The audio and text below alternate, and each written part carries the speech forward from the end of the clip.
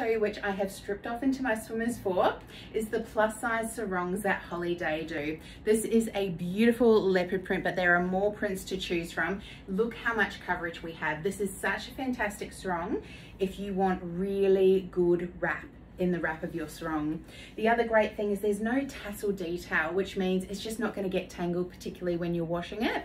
So I'm just gonna show you that we can have just such a good wrap.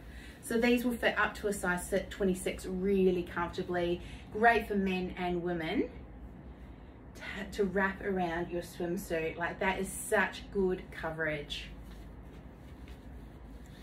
Isn't that nice? If you are not poolside, here's a couple of ways to wear a sarong that you may not have thought of.